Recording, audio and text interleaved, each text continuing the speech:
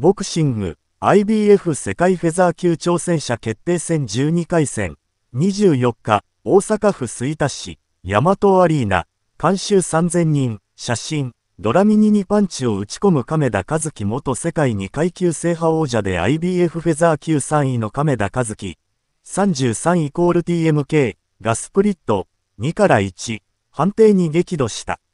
昨年10月に僅差の判定で敗れた同級ニーレラとドラミニ、30イコール南アフリカとの挑戦者決定戦。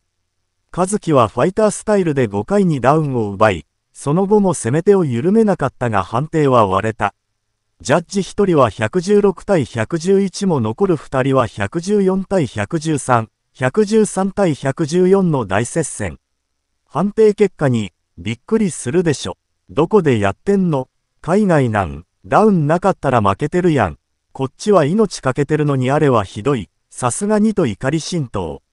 ただ前向きに切り替え、かつてスパーリングもしたことがある同級王者アンジェロ・レオ、米国、先鋭、もっとトレーニングして3階級制覇しますと誓った。